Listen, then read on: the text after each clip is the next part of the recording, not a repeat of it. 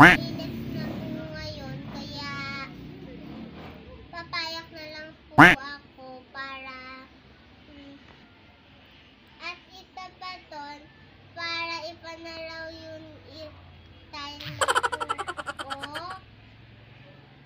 Ito pa doon para hindi ako palaging naiinitan. Yun po.